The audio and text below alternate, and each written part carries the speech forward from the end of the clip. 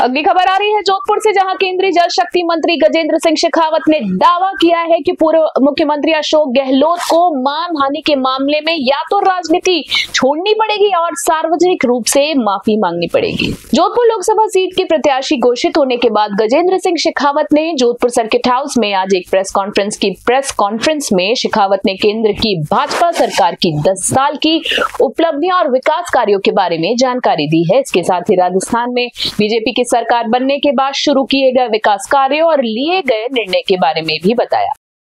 जोधपुर से राजेश पुरोहित की रिपोर्ट।